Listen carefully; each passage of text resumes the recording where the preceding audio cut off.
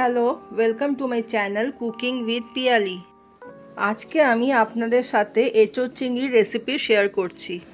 এঁচোড় চিংড়ি বানাবার জন্যে এঁচোড় নিয়েছি আধা কিলো। এঁচোড়টাকে ঠিক এই রকমভাবে পিস পিস করে কেটে নিয়েছি। দুটো আলু ছোট ছোট পিস করে কেটে নিয়েছি।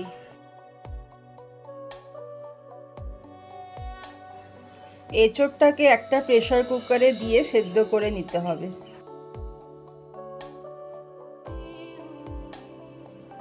সামান্য একটু নুন আর হলুদ দিয়ে এঁচোড়টাকে সেদ্ধ করে নেব।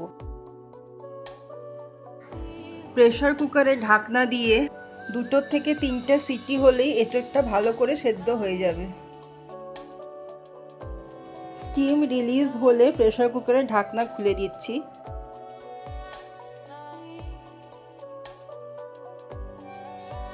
এঁচোড়টা খুব ভালোভাবে সেদ্ধ হয়ে গেছে। একটা চালনির সাহায্যে এঁচোড়টাকে জল থেকে ছেঁকে তুলে নিয়েছি।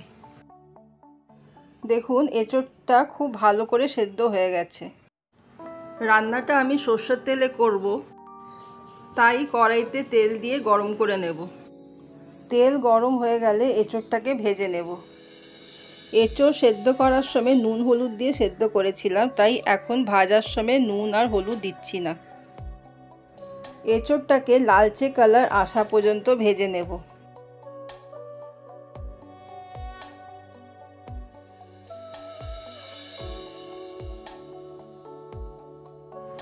এঁচোড় লালচে করে ভাজা হয়ে গেলে একটা বাটিতে তুলে নেব।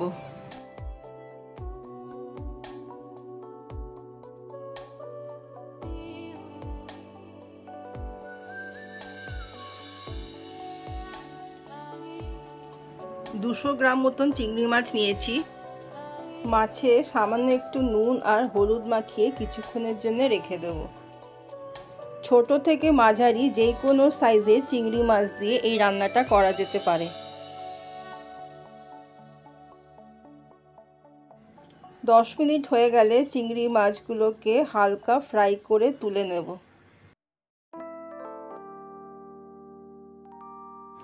চিংড়ি মাছ বেশিক্ষণ ভাজলে স্টিফ হয়ে যায়, তাই জাস্ট তেলে দিয়ে হালকা নেড়ে চেড়ে নামিয়ে নেব।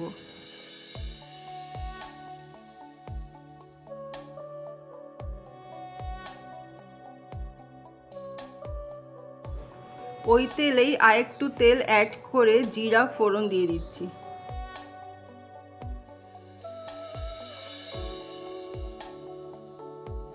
জিরাটা একটু ভাজা হয়ে গেলে কেটে রাখা আলুগুলো দিয়ে দেব।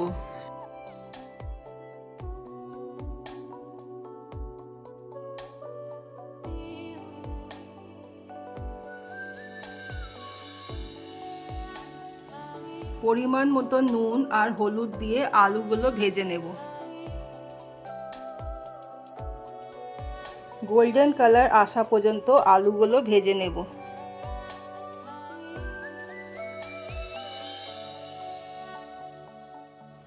আলু ভাজা হয়ে গেলে একটা বাটিতে তুলে রাখছি।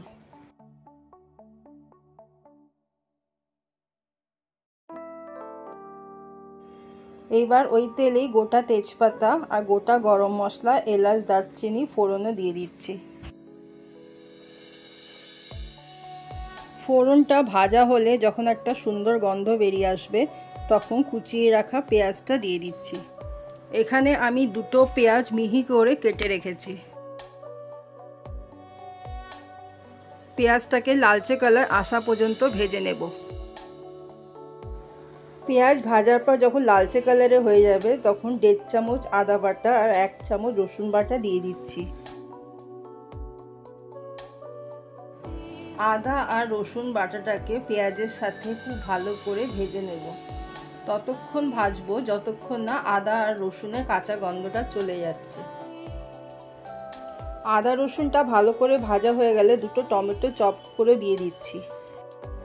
টমেটোটাকে মশলার সাথে নেড়ে চেড়ে মিশিয়ে ভেজে নেব। টমেটোটা ভাজা হতে হতে দিয়ে দিচ্ছি পরিমাণ মতো নুন, এক চামচ হলুদের গুঁড়ো,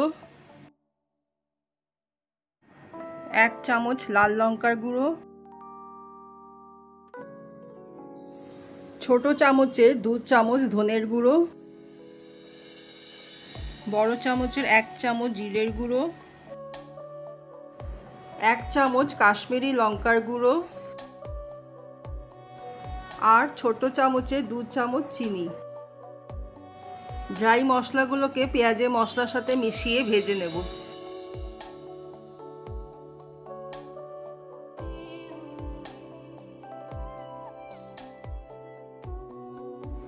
মশলা যাতে পুড়ে না যায়, তাই সামান্য একটু জল দিয়ে মশলাটাকে কষিয়ে নিচ্ছি।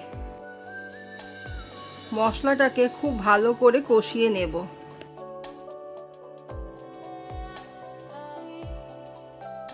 মশলা কষাতে কষাতে যখন চারপাশ থেকে তেল বেরিয়ে আসবে, তখন ভেজে রাখা আলু আর এঁচড়টা দিয়ে দিচ্ছি।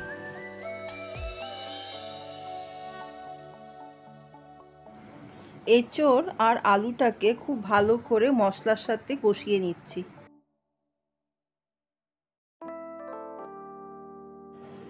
এঁচড় আর আলু কষাতে কষাতে যখন চারপাশ থেকে তেল বেরিয়ে আসবে, তখন ভেজে রাখা চিংড়ি মাছগুলো দিয়ে দেব।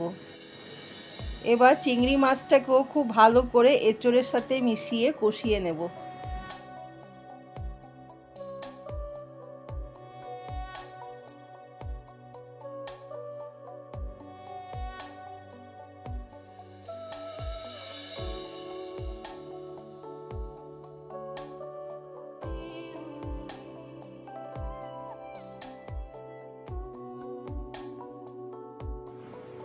এঁচড়, আলু আর চিংড়ি ভালো করে কষাবার পর যখন চারপাশ থেকে তেল বেরিয়ে আসবে, তখন পরিমাণ মতন জল দিয়ে দিচ্ছি। ঝোলটাকে ফুটিয়ে তরকারিগুলো সেদ্ধ হতে দেব।